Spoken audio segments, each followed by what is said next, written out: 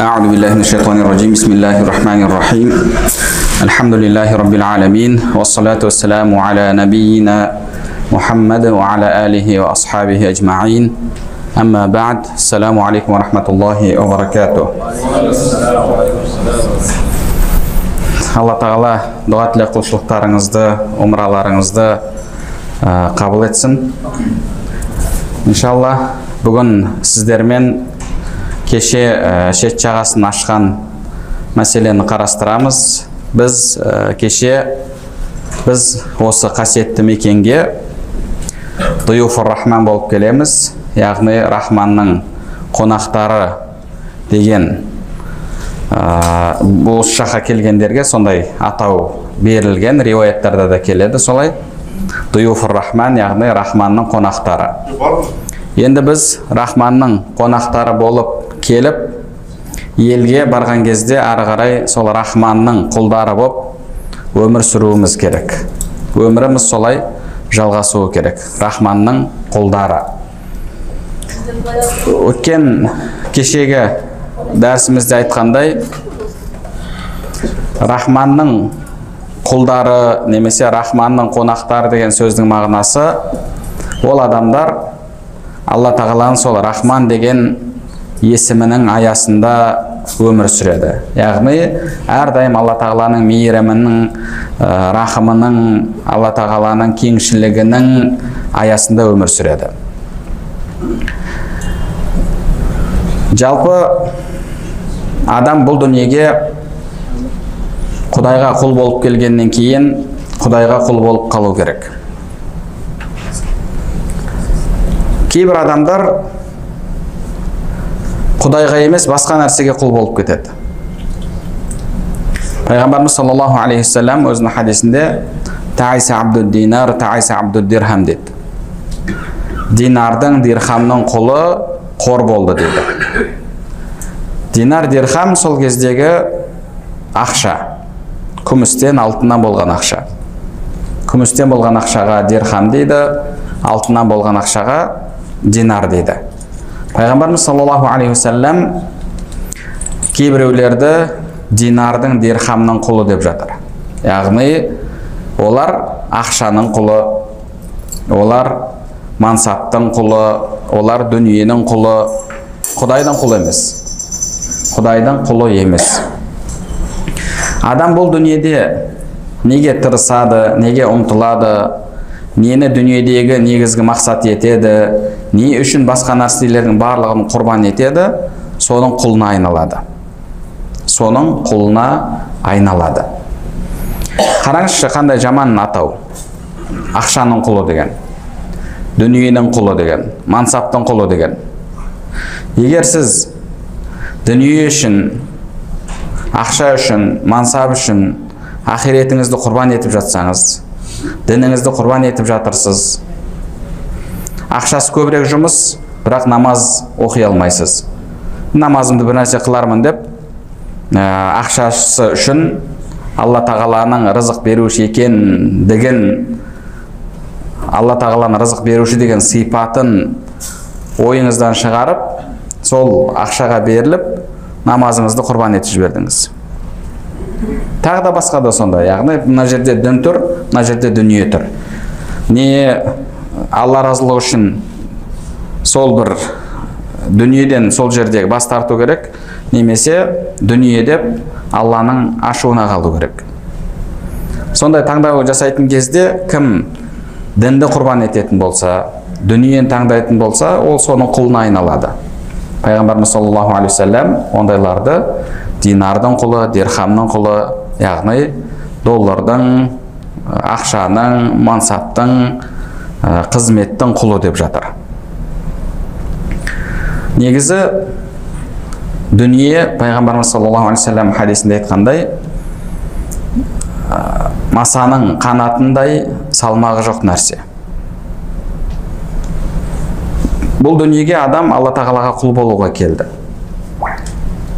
Демек аллаға құл болу керек. Алланың құлы болу керек. Енді алла тағала бізге сол өзінің сүйікті құлдарының кімдер екендігін баяндап беріп жатыр. Шынайы құдайға құл болған рахманға құл болған адамдар бар. Біз солардың қатарында болуымыз керек. Бұл дұюф рахман деген рахманның қонақтары деген уақытша нәрсе. Міне ертең қайтып жатқандар бар арғы күні қайтатындар бар бір аптадан кейін қайтатындар бар. Әйтеуір бұл жерге рахманға қонақ болып келгеннен кейін санаулы күндер болып қайтамыз. Ал бірақ құдайдың құлы болу рахманның құлы болу ол тұрақты нәрсе болу керек. Алла тағала құран кәрімде фұрқан сүресінде өзінің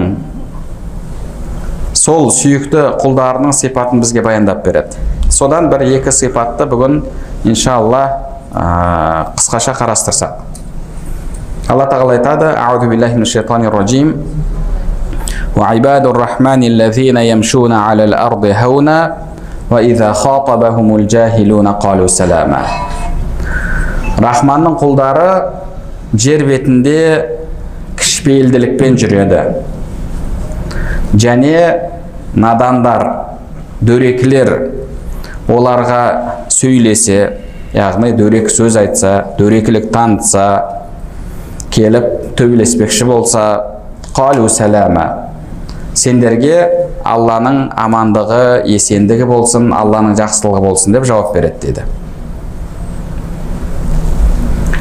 Алла тағала осы аятта олардың екі сипатын баяндап жатыр.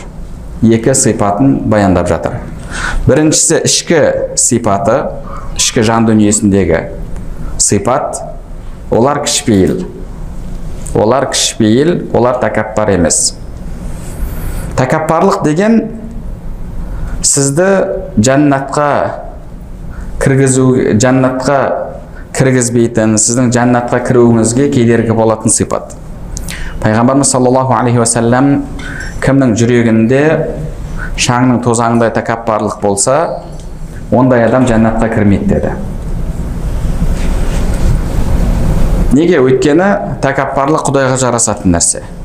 Тәкаппарлық шайтанды шайтан қылып періштелердің арасында жүрген жерінен шайтан деген алланың мейірімінен рахымынан қуылған деген сөз. Шайтанды шайтан қылған шайтанды алланың мейірімінен рахымынан қуған сипат болып табылады. Тәкаппарлық. Алла тағала илля иблиса аба уастакбара ва кана минал кафирин деп. Алла тағала періштелерге адам атаның артықшылығын мойындап сәжде етіңдер деген кезде ә, періштелердің барлығы сәжде етті ібліс сәжде етпей бас тартты және кәпірлерден болды деді. Тәкаппарлықтың себебімен ібліс шайтан болды ібліс алланың мейірімінен рахымынан қуылды демек тәкаппар адам бір сөзге екі сөзбен жауап қайтаратын сөзге жұдырықпен жауап қайтаратын басынан сөз асыра алмайтын біреу ол жайында бір нәрсе десе бірден ашуланып долданып шығып кім ол ол соншама ондай сөз айтатын дейтін адам жәннатқа кірмейді. Неге? Өйткені ол тәкаппар ал тәкаппарлық жәннаттан шайтанды қуған. Жәннаттан шайтан соның себебімен шықты.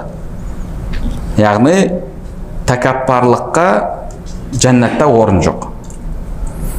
Демек тәкаппар болсаңыз сіз де жәннатқа кіре алмайсыз. Өзі мынау кім ол ол соншама деген сөзді бірінші болып айтқан шайтан. Біз көп айтамыз ғой бұл сөзді. Біреу сізді сынаса сізді жамандаса сіз жайында бір нәрсе айтса не дейсіз? Кім ол ол соншама өйтіп айтатындай дейсіз? Кім ол? Ол соншама. Негізі осы кім ол ол деген сөзді бірінші айтқан шайтан екен. Өйткені алла тағала адам атаға сәжде етіңдер деген кезде сәжде намазда құлшылық сәждесі емес сәлем сәждесі. Алдыңғы шариғаттарда рұқсат болған. Сонда шайтан кім ол ол адам ата мен оған сәжде қылатындай деді. Кім ол ол? Оның қай жері менен артық екен? Мен одан артықпын. Мені құранда не деді? Сен мені оттан жараттың оны топырақтан жараттың. Кім ол ол соншама деді. Демек осы кім ол ол соншама деген сөз сізді ібіліске айналдырады шайтанға айналдырады. Сіз де сол шайтан сияқты ә, тәкаппар біреуге айналасыз. Алла тағала рахманның құлдарының ішкі жан дүниесін сипаттап жатыр. Рахманның құлдары жер бетінде кішіпейілділікпен жүреді деді яғни олар кішіпейіл жандар. Олар тәкаппар жандар емес. Олар өздерінің кім екендігін таниды. Раббысының ұлықтығын сезінген өзінің әлсіз пенде екендігін сезінген білген адамдар. Адам өзін құл сезіну үшін өзінің ешкім емес екендігін және сонымен бірге жаратушының ұлықтығын сезіну керек. Сол кезде сіз құдайдың құлы боласыз. Яғни алланың ұлықтығын сезіну және өзіңіздің ешкім емес екендігіңізді бір әлсіз жаратылыс екендігіңізді сезіну. Рахманның құлдары сондай адамдар. Олардың ішкі жан дүниесінде кішіпейілділік бар. Олар өздерін таныған өздерінің кім екендігін білетін адамдар. Олар жер бетінде жүреді. Біздің дініміз сондай дін адамның жүрісіне де тұрысына да ә, дәретке кіруіне де дәреттен шығуына да дәретте қалай отыруына да барлығына көңіл бөлген. Еш нәрсені қалдырмаған. Еш нәрсені қалдырмаған барлық нәрсені қамтыған. Тіпті сол біздің қалай жүруіміз керектігін де алла тағала құранда бізге баяндап берген. Иса сүресінде алла тағала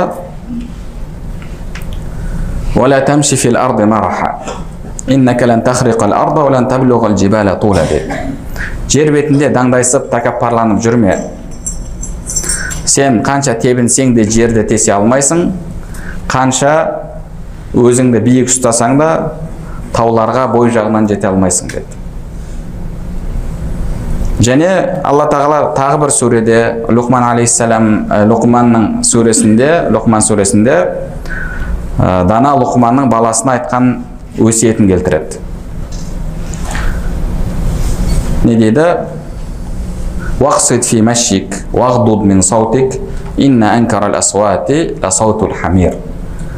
жер бетінде кішіпейілділікпен жүр дейді таңдайсып жүрме тәкаппарланып жүрме даусыңды бәсеңдет дауыстардың ең жаманы есектің дауысы деді яғни есек сияқты ақырып әлгі даусыңды көтеріп кез келген жерде әйтеуір бір ә, дау шығаруға ұрыс шығаруға дайын тұру бұл мұсылманға лайық сипат емес. Адам кішіпейіл болу керек. Кішіпейіл болуы керек. Алла тағала жер бетінде кішіпейілділікпен жүр даңдайсып жүрме деп жатыр.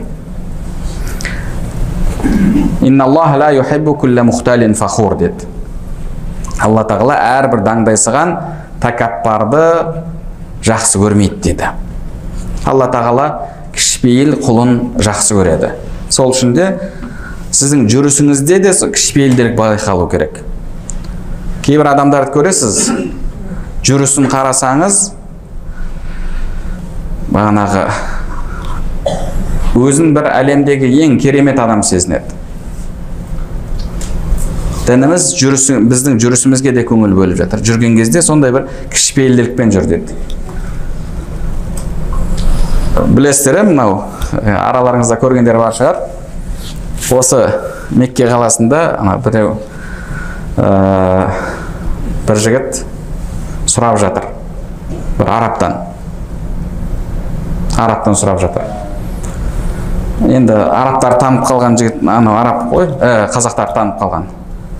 Ахи айтшы бағанағы қазақтар қалай жүреді деді. Қазақстан қазақтар қалай жүреді десе анау араб тұрып алып міне бүйтіп жүреді деп бағанағы. Қазақтардың жүрісі десе бағана көрсетіп жатыр. Сондай видеоны көргендеріңіз бар шығар араларыңызда. Яғни ә, солай жүрмеу керек та. Қазақтар қалай жүреді деген кезде бір сондай сыпайы әдемі кішіпейіл ә, жүрісті көрсететін болу керек. Алла тағала құранда соған да көңіл бөліп жатыр. Адамның жүрісіне де көңіл бөліп жатыр. Адамның жүрісі сөзі оның ішкі жан дүниесінің айнасы. Сіздің ішкі жан дүниеңізде ә, тәкаппарлық болса менмендік болса адамдарды менсінбеу болса онда сол нәрсе сіздің сөзіңізде көрінеді. Өйткені тіл жүректің айнасы жүректің шөміші жүректе не бар? тілге сол шығады сіздің жүріс тұрысыңыздан көрінеді. Пайғамбарымыз саллаллаху алейхи уассалам өзінің хадисінде мән тааззама фи миш... фи фи лақи аллаха тағала алейхи кімде кім өзін басқадан артық қойса тәкаппарлыққа салынса және даңдайсып жүрсе алланың алдына барған кезде алла тағала оған ашулы болады дейді алла тағала оған ашулы болады. Сол үшін де бізде сол кішіпейілділік деген сипат болу керек. Егер сіз кішіпейіл болсаңыз алла тағала сізді жақсы көреді. Сіздің дәрежеңізді көтеріп қояды. Тәкаппар адам не үшін тәкаппарланады? Ол басқалардан артық болғысы келеді. Басқалардан дәрежесінің биік болғанын қалайды. Ал егер дәрежеңіздің биік болғанын қаласаңыз алланың алдында басқалардан артық болуды қаласаңыз онда сіз бұл дүниеде кішіпейіл болуыңыз керек. Пайғамбарымыз саллаллаху алейхи уассалам өзінің хадисінде мән кім алла үшін кішіпейіл болса алла тағала оның дәрежесін көтеріп қояды дейді. Алла тағала оның дәрежесін көтеріп қояды. Біреулер тәкаппарланып өзін көрсетіп адамдарға өзін мойындатқысы келеді. Ал адамдардың сізді мойындағанын сізді жақсы көргенін қаласаңыз тағы да кішіпейіл болуыңыз керек. Неге? Өйткені кішіпейіл адамның алла тағала дәрежесін көтеріп қояды және кішіпейіл адамды алла тағала жақсы көреді. Ал алла тағала бір құлын жақсы көрсе пайғамбарымыз саллаллаху алейхи хадисінде айтқандай алла тағала бір құлын жақсы көрсе жебірейіл періштені шақырып уа жебірейіл мен пәленше құлымды жақсы көрдім сен де оны жақсы көр деп айтады сөйтіп жебірейіл періште басқа періштелерге алла тағала пәленше құлын жақсы көреді сендер де оны жақсы көріңдер дейді сөйтіп бүкіл періштелер ол адамды жақсы көреді және ол, ол адамға деген сүйіспеншілік махаббат адамдардың жүрегіне түседі дейді тура солай керісінше. Алла тағала бір құлын жек көрсе жәбірейіл періштеге айтады деді. Мен пәленше құлымды жек көремін сен де жек көр деді. Жібірейіл алейхисалам періштелерге айтады. Алла тағала пәленше құлын жек көреді сендер де оны жек көріңдер дейді сөйтіп ол адамға деген жек көру жер бетіндегі адамдардың жүрегіне түседі дейді демек егер сіз адамдардың сізді жақсы көргенін қаласаңыз сізді мойындағанын қаласаңыз онда кішіпейіл болыңыз. Алла тағала сол кезде сізді жақсы көреді. Сізді алла тағала жақсы көрсе құлдары да жақсы көреді. Және бұл кішіпейілділік деген сіздің мынау құлшылығыңыздың дұрыс жүріп дұрыс тұрғаныңыздың жемісі. Білесіздер ағаш жемісті болған сайын иіліп тұрады. Ағаш жемісті болған сайын иіліп тұрады. Жемісі жоқ ағаш ағаш сол бағанағы көкірегін көтеріп ә, бағанағы мұрнын аспанға шүйіріп тұрады. Сол үшін де бізде кішіпейілділік болу керек. Және екінші сипаты осы аятта айтылған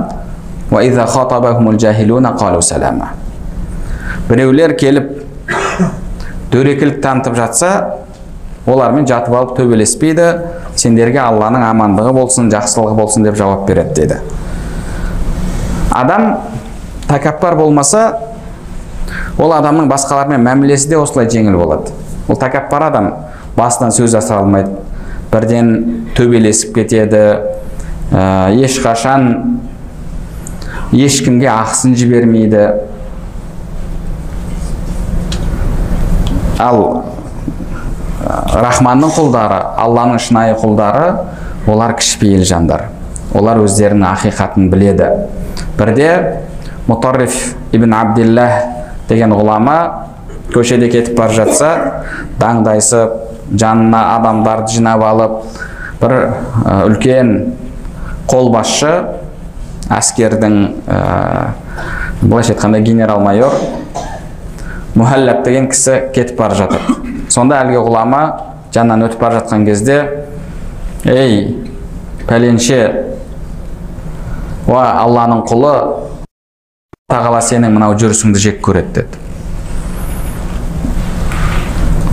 анау бірден ашуланып кетеді неге өйткені ол үйренбеген біреудің келіп оған ә, мына жерің дұрыс емес дегеніне адамдар оның жанына келсе бәрі ой тақсыр тақсыр деп мәймөңкелеп сөйтіп қолдан оны не істеп жібереді? Қолдан оны былайша айтқанда ә, сондай бір тәкаппар өзін құдай сезінетін біреу қылып жібереді. Негізі кез келген ә, басшының жанына сондай адамдар жиналған кезде олар сол басшыны құртады бұзады. Сол үшін де мынау бізде шариғатта дұға бар. О алла тағала ә, битанатан салиха деген сөз бар. Яғни басшыға жақсы қосшы яғни жан, жақсы жанына адамдар жинап бер деп осылай дұға жасайды. Неге өйткені жанындағылардың әлгі адамға ә, қандай сөз айтуы не айтуы мұның барлығы оны әсер етеді. Бізде жанына жиналып алады да бәрі мақтай береді мақтай береді мақтай береді сонымен ол біраз уақыттан кейін сол мақтауларға сеніп өзін шынымен де сондай екенмін деп ойлап қалады одан кейін ешқандай кемшілігін көрмейді кемшілік айтса біреу оны жақтырмайды жанына өкінішке қарай сондай жағымпаздар жиналады кейін қызметтен кетіп қалса артынан жамандай бастайды оны өмірде көріп жүрміз өмірде практикада көріп жүрміз әлгі мұхалләб деген басшының да жанында сондай жағымпаздар болған сонымен ол дандайсып кеткен әлгі ғұлама сенің мына жүрісің дұрыс емес деген кезде көтере алмай е сен білесің ба мен кім екенімді деді мен кім екенімді білесің ба мен танисың ба деді сонда әлгі ғұлама айтады иә мен сені танимын деді мен сені танимын сенің кім болғаныңды білем кім екендігіңді білем және кім болатыныңды білем деді.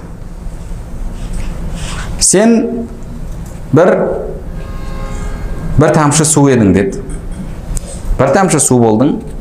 Қазір қарныңда боқ көтеріп жүрген біреусің ертең шіріген бір өлікке айналасың деді. Сен осысың деді. Сен басқа ешкім емессің деді. Шынында да қарап отыратын болсақ адам деген сол. Адамның ақиқаты сол. Сол үшін де тәкаппарлық құдайға жарасады. Адамға жараспайды. Енді адам кішіпейіл болғаннан кейін адамдармен мәмілесінде де кішіпейілділік көрінеді.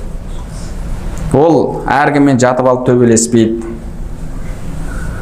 бір сөз айтқанға екі сөзбен жауап қайтармайды. Неге? Біріншіден ең бірінші нәрсе сіз біліңіз айтып жатқан әрбір сөзіңіз ол босқа кетіп жатқан нәрсе емес.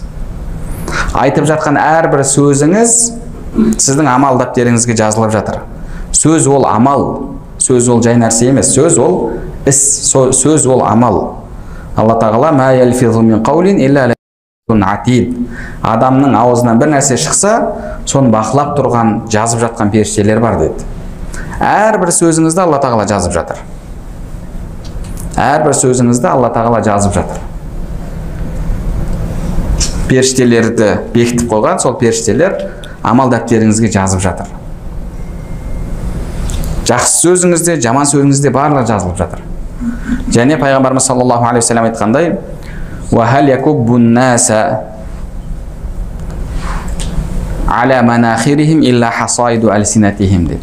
адамдарды адамдардың тозаққа етбетімен бетімен құлауына сол ауыздарынан шыққан сөз себеп болады деді. Адам бір нәрсені көңіл бөлмей болмашы сөз ғой деп айта салады деді. Сол сөздің себебімен жетпіс жыл тозаққа сол тозақтың шұңқырына құлайды деді. Сондай тереңдіктегі тозаққа құлайды деді. Және тағы бір риуаяттарда келеді. Әр күні таң атқан кезде адамның бүкіл ағза мүшелері тілге айтады екен. Сен дұрыс болсаң біз дұрыс боламыз. Сен түзелсең біз түзелеміз деп. Яғни сіздің аузыңыздан шығып жатқан нәрсе бұл бос кетіп жатқан нәрсе емес әрқайсысы жазылып жатыр. Әрқайсысы жазылып жатыр. Және ертең алдыңыздан шығады. Ертең алдыңыздан шығады. Жаман сөз жала сөз боғауыз сөз барлығы ертең алдыңыздан шығады. Сол үшін де мынау тілге ие болу керек. Пайғамбарымыз саллаллаху алейхи уассалам алла тағала жақсы сөз айтып сауапқа кенелген немесе үндемей құтылған адамды рахымына бөлесін деген. Сөз айтсаң жақсы сөз шықсын аузыңнан. Сонымен сауапқа кенелесің немесе үндеме құтыласың. Алла тағала рахманның құлдары жайында айтып жатыр. Олар дөрекілерге надандарға олар келіп боқтап жатса тағы басқа бір нәрсе істеп жатса сәлемі алланың саған сәлемі болсын алланың амандығы болсын жақсылығы болсын деп жауап береді деді. Яғни бір сөзге екі сөзбен екі сөзге он сөзбен жауап қайтармайды. Сөйлеген адаммен жатып алып төбелеспейді. Бізде сондай қазір. Екі адамның төбелесіп кетуі оңай машинасымен қысып кетсе де шығып алып төбелесіп жатады тағы бір нәрсесі болса да төбелесіп жатады әйтеуір төбелес соңы пышақтасу төбелес соңы басқа. Субханалла қарасақ адамдар сондай бір басынан сөз асыра алмайтын болып кеткен. Бір сөз айтылады соның себебімен ағайын туысқанның арасында қырылыс. Жылдап бір бірімен араласпай кетеді. Бір бірімен жылдай аралас жылдап араласпай жүргендер бар. Неге? Өйткені мынандай бір тойда немесе бір жиында әлгі туысқаны бір сөзді айтып қойған. Болды соны кешіре алмайды. Бірде пайғамбарымыз саллаллаху алейхи алдында екі адам сөзге келіп қалады. Бірі ауыр дөрекі сөздерді айтып жатады. Екіншісі осы аятқа амал етіп саған алланың жақсылығы болсын амандығы болсын деп осындай сөз айтып тұрады. Пайғамбарымыз саллаллаху алейхи вассалам кейін әлгі кісіге айтады. Сен қазір анаған жақсы сөзбен жауап беріп тұрған кезде алла тағала бір періштені жіберіп қойды дейді араларыңа бір періштені қойып қойды. Әлгі періште әлгі адам сені балағаттаған сайын саған боғауыз сөз айтқан сайын сол сөзге өзің лайықсың өзің лайықсың деп жауап беріп тұрды дейді яғни сен жауап бермей ақ қой алла тағала сенің орныңа жауап беретін періште қойып қояды. Және сен оған алланың саған сәлемі болсын алланың амандығы болсын жақсылығы болсын деп айтқан сайын әлгі періште сол нәрсеге сен лайықсың сол жақсылыққа сен лайықсың деп жауап беріп тұрды дейді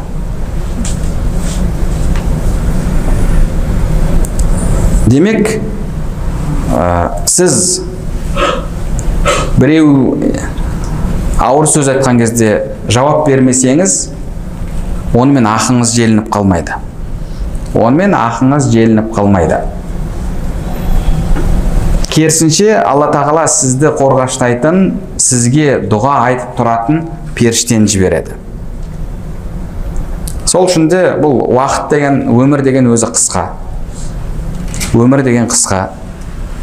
Сол қысқа өмірімізді қолдан келгенше сауаппен өткізуіміз керек амал дәптерлерімізді сауапқа толтыруымыз керек. Ертең алдыңыздан амал дәптерлеріңіз шығады.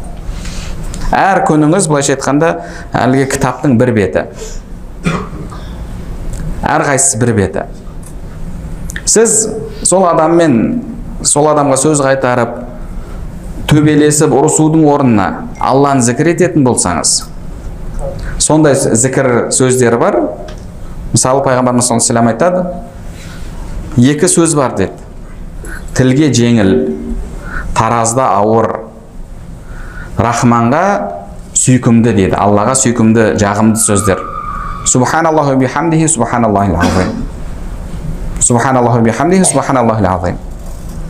және тағы да сондай ә, зікірлер бар дұғалар бар. Айтса адам оны теңіздің көбігіндей күнәсі болса алла тағала оны кешіреді дейді. Яғни сондай зікірлерді айтыңыз қолыңыз бос болды ма бірден алла тағаланы зікір етіңіз. Ғұламаларымыздың айтқан сөзі бар адамды зікір ету дерт алланы зікір ету шипа деді адамды зікір ету адамды еске алу адамды сөз қылу дерт алланы еске алу алланы зікір ету шипа деді адамды талқылай бастадыңыз ба міндетті түрде ғайбатқа түсесіз. Міндетті түрде оның бір кемшілігін айтасыз. Міндетті түрде бір күнәға жолығасыз. Ал алла тағаланы зікір еттіңіз бе? Тек қана сауап. Тек қана сауап. Және алла тағаланы зікір еткен сайын сіздің жүрегіңіз тыныштала береді. Қазір біз сондай заманда өмір сүріп жатырмыз. Қазіргі заман депрессия заманы.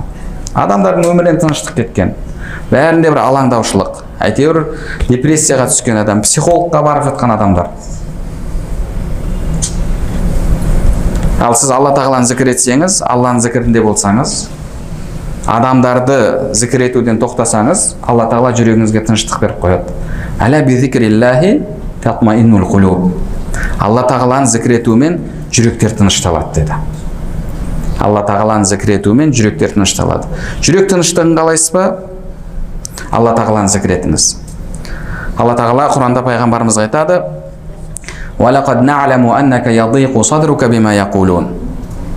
олардың сөздерінің себебімен сенің жүрегіңнің мазасызданатындығын біз білеміз деді сенің жүрегің мазасызданады. Енді оның емі қалай? Алла тағала айтады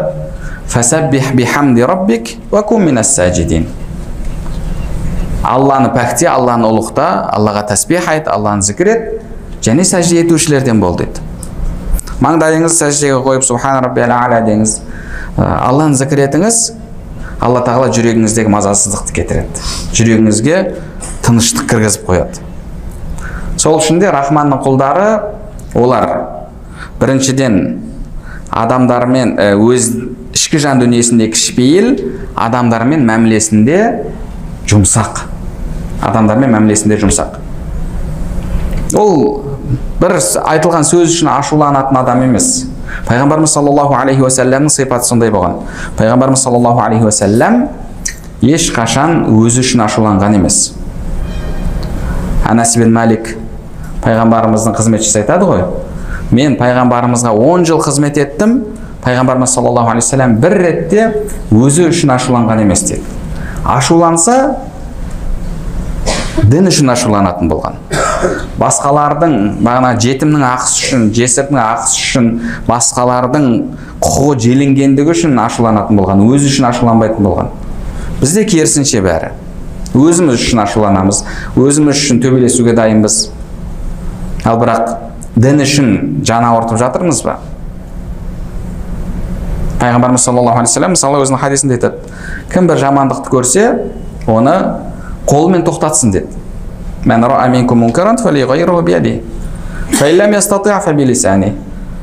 Шамасы келмесе онда тілімен айтсын деді сөзбен. Е мынау дұрыс емес қой деп.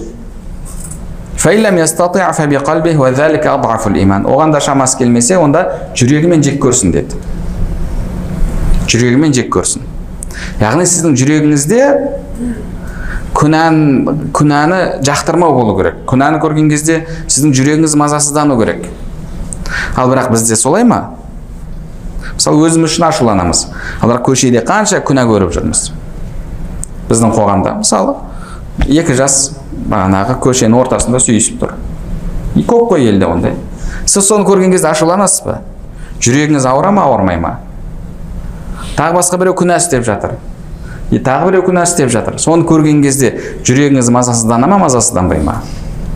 Алла үшін ашуланасыз ба ашуланбайсыз ба? Немесе тек қана өзіңіз үшін нәпсіңіз үшін дүниеңіз үшін ақшаңыз үшін ашуланасыз ба?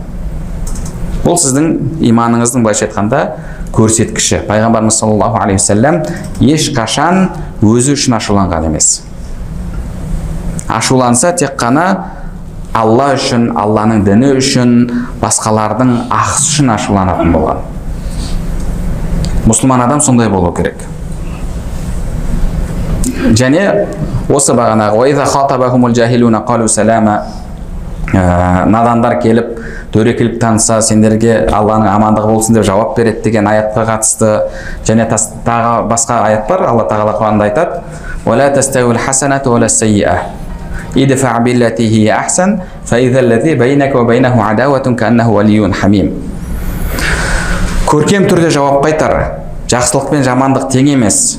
Егер сен бір жамандыққа дөрекілікке жақсы түрде жауап қайтаратын болсаң араларыңда дұшпан дұшпандық болған келіспеушілік болған жек көрушілік болған адамның өзі сенің жақын досыңа айналады деді.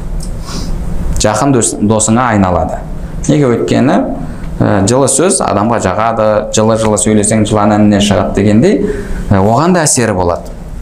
Осы аят жайында әнәс ибн мәлик сұралған кезде пайғамбарымыздың қызметшісі болған ұлы сахаба ол кісі айтады яғни жақсылыққа жамандықпен жауап қайтар деген аяттың мағынасы не? Біз қалай жамандыққа жақсылықпен жауап қайтаруымыз керек деген кезде ол кісі айтады егер біреу келіп сені балағаттап жатса ауыр ауыр сөздерді айтып сен анандайсың сен мынандайсың деп жатса болған кезде болдың ба? деп иә болдым десе егер сенің айтып жатқандарың рас болса алла мені кешірсін алла мені түзетсін егер айтып жатқандарың жалған болса жала болса онда алла тағала сені кешірсін деп бұрылып кету дейді яғни бізде осындай болу керек. Өзіміз үшін ашуланбай айтқаның рас болса алла мені кешірсін алла маған хидаят берсін. Егер айтып жатқан сөзің жала болса алла тағала сені кешірсін деп бұрылып кету дейді.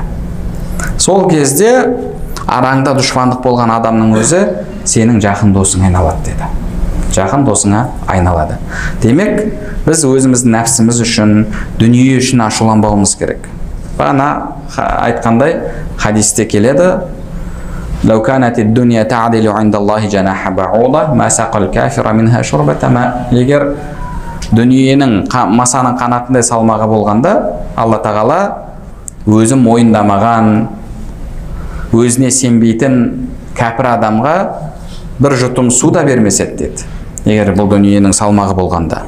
Неге? Өйткені кәпір адам ә, сол судың нанның тамақтың жеп жатқан ә, тамағының алладан екендігін алланың рызқы екендігін мойындамайды. Ондай адамға алла тағала бір жұтым су да бермес еді деді. Бірақ дүниенің ешқандай алланың құзырында салмағы жоқ. Бірақ біз сол дүние үшін ағайындық туысқандық қарым қатынасты үзіп тастаймыз. Ал пайғамбарымыз саллаллаху алейхи вассалам не деді? Мұсылман адамға мұсылман бауырымен қарым қатынасын үш күннен артық үзуге болмайды деді. Сізді ашуландырды ма? Ренжідіңіз бе? Үш күн уақытыңыз бар. Үш күн ашуланыңыз ренжіңіз сөйлеспей қойыңыз. Бірақ төртінші күнге өтіп кетсе онда харам, бол, харам болады. Үш күн ренжіңіз үш күн ренжуге хақыңыз бар бірақ төртінші күні араңызды дұрыстауыңыз керек араңызды дұрыстауыңыз керек ал біз не істейміз кейбір туысқандарымыздың тек қана жаназасына барамыз жаназасына барсақ қанша адамдарды білеміз сондай енесі келінімен араласпайды ағасы інісімен араласпайды неге? Кезінде бір қарыз сұрағанда бермей қойған немесе тағы бір тойына келмей қалған. Сонымен болды. Бұл да оның тойына да бармайды басқасына да бармайды. Мына жақтан үйінде әйелі оның миын жейді сенің не құрметің жоқ па андайың жоқ па жерде жатқан біреусің ба? Жарасыңдар қойыңдар сенің туысқаның бауырсыңдар деудің орнына мына жақтан ол да керісінше не істейді? Одан бетер қоздырады. Сол үшін де ғұламаларымыз айтады ғой егер отбасың дұрыс болмаса онда екі шайтанмен күресу керек болады деді. Бірі сыртқы шайтан ібіліс екіншісі үйдегі әлгі азғыратын шайтан. Иә ол да сен не жұрттың күйеуі тауып жатыр ғой жұрттың байы ақша тапқыш сен болсаң таба алмайсың үйте алмайсың ән анау. Түркияға қыдырып қайтты мына жаққа барып қайтты. Мынандай көлік алды. Сен болсаң бұндай сөз адамды неге итермелейді? Күнәға итермелейді параға итермелейді ұрлыққа итермелейді. Ал керісінше ә, бастысы адалдан болсын харамға бармаңыз пара алмаңыз деп осындай біз үшін құдайдан қорқыңыз үйге харам дүние харам рызық алып келмеңіз десе ер адам ойланады. Сол үшін де ә, біз бір бірімізге жанашыр және бір бірімізге жанашыр болған кезде де ең бірінші кезекте ақиретімізге жанашыр болуымыз керек. Ақиретімізге жанашыр болуымыз керек. Бұл дүниедегі әлгі қиыншылық ауыртпашылық бұл дүниедегі ә, кедейшілік бақытсыздық барлығы уақытша нәрсе. Али радиаллаху анху айтқандай шынайы. Шынайы байлық шынайы кедейлік шынайы бақыт шынайы бақытсыздық. Мұның барлығы алланың құзырындағы есеп қисаптан кейін болады дейді. Алланың құзырындағы есеп қисаптан кейін болады. Кім тозақтан ұзақтатылып жәннатқа кірсе тозақтан құтылып жәннатқа кірсе міне сол адам шынайы бақытты адам. Кім тозаққа түсті ма ол адам бақытсыз адам. Бұл дүниеде мың жерден керемет өмір сүрсін бірақ құдайын танымаса ертең тозақтық болса ол адам бақытсыз адам. Ертең қияметте бұл дүниеде сондай бір бүкіл рахатты көріп өмір сүрген адамды алып келіп ә, азап суына азап өзеніне бір тығып алған кезде не дейді? Хадисте келеді ғой. Сен бір рахат көрдің бе деген кезде мен ешқандай рахат көрген емеспін деді бүкіл бұл дүниедегі рахатының барлығы ұмыт болады және бүкіл осы дүниедегі бүкіл қорлықты көріп өмір сүрген адам ертең қияметте оны алып келіп рахат өзеніне бір тығып шығарып сен бір қиындық көргенсің бе деген кезде ол жоқ ешқандай қиындық көрген емеспін дейді бүкіл бұл дүниедегі қорлығы қиыншылығы сынағы ауыртпашылығы ә, егер өмір бойы ауырған болса барлығы ұмыт болады. Шынайы бақыт шынайы бақытсыздық алланың құзырындағы есептен кейін болады. Сол үшін де ә, алаңдасақ ақиретіміз үшін алаңдайық адал рызқымыз үшін алаңдайық басқалардың ақысы үшін алаңдайық өзіміздің нәпсіміз үшін дүние үшін емес. Міне сол кезде біз рахманның құлдарының негізгі бағанағы сипаттарын бойымызға жинаған боламыз. Осы бүгінге осы екі сипатымен сіздермен бөліскім келді. Алла нәсіп етсе ертең кешке ә, осы фурқан сүресіндегі рахманның құлдарының сипатын ары қарай тағы да үйренетін боламыз. Алла тағала баршамыздың осы қасиетті мекенде жасап жатқан дұға тілек құлшылықтарымызды умраларымызды қабыл етсін. Елге қайтып жатқандар болса алла тағала елге аман есен сол қабыл болған құлшылықпен оралуларын нәсіп етсін. Ассаламу алейкум уа рахматуллахи баракатух.